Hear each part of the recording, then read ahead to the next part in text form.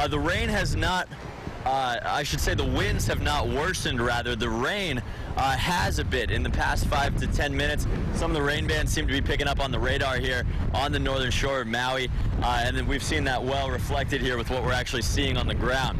Uh, earlier tonight and overnight, we've seen some tropical storm force wind gusts here at the airport. Behind me, 39 miles per hour. Uh, we have seen stronger gusts over on some islands west of this area, up to 47 miles per hour at the Lanai airport uh, earlier tonight.